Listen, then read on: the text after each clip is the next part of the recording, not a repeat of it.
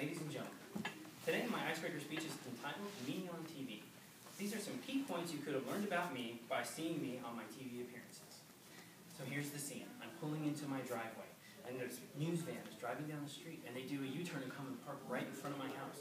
The nightly news reporter comes out and says, do you want to be on TV? And I say, again?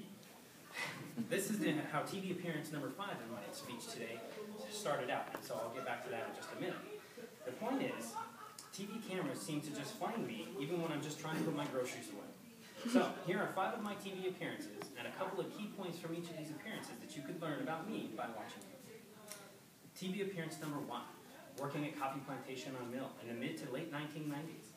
I don't know how many of you remember, but back in the late 1990s, Mill Avenue was very popular for social activities. A lot of things going on down there. Sun Devil Stadium hosted a Super Bowl, U2 was down there, Mill Avenue Arts Festival every six months. So TV news crews were down there for various reasons and always needed to talk to somebody and start somewhere. Just like the social activities usually started at Mill Avenue, people or at the coffee plantation, people meeting there and then going on to their activity. News crews started there as well. So I was on there several times just talking about the general gist of things going on in downtown Mill Avenue. So here are the key things you could have learned about me from those appearances. I was working in the service industry while earning my in-state tuition at ASU. And I took the first job I could that would give me a paycheck with Arizona addresses. So the second TV appearance was me in a tattoo shop in 1997. While I was going to ASU, I worked at a tattoo shop on Mill Avenue called Living Canvas. Now, Living Canvas, my function there was to be the front office person. So I handled appointments, I was the greeter, I got people back to the tattoo artists they were going to see, basically kind of the face of the shop. So when the reporter walked in the door and said, I need to talk to somebody about tattoos and piercings in the 90s around ASU, all the artists said they had to talk to me. So I did an interview with them, and here are the few key points you could have learned about me from that TV appearance. I have lots of tattoos and lots of piercings. Over 20 piercings at the time, and only half of which were above my shoulders. In my circle of friends at the time, I may not have been the most tattooed or even the most pierced person around, but I was the first person that wanted to talk on TV about it. so here are a few key points from that TV appearance that I learned about myself. First off, I learned what it's like to tell myself through the radio that I'm going to be on TV that night. So the, when the news reporter had concluded our interview, she couldn't tell me when exactly it was going to air.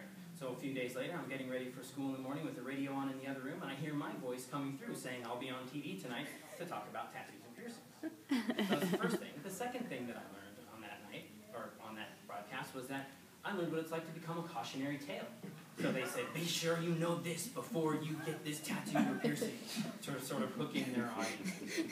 Not a good feeling. so, the third TV appearance was at Buffalo Exchange in 2002 my beautiful girlfriend, now wife, worked at Buffalo Exchange, and it was the transition of seasons. So it was going from cold to hot.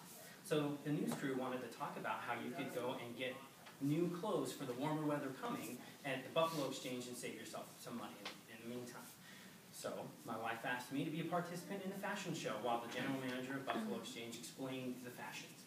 So my wife asked me to wear a Hawaiian shirt, the first and last time I ever wore a Hawaiian shirt happened to be on TV. And she also asked me to wear a pair of surfing board shorts that would have made Jeff Spicoli proud. so, the two key points you can take away from that TV experience are girls can get me to do funny things. and the second thing would be that I'll wear anything that Shanna tells me to, on TV or not. so, the fourth TV appearance that you guys could have seen of me is in a hockey game in 2010. My stepfather-in-law is a broadcaster for the Coyotes they were doing a segment called Hockey 101. So I got to play the part of a new hockey fan asking general questions about the game and the rules of hockey. The broadcast lasted over two and a half, almost three hours, and I was splashed in between.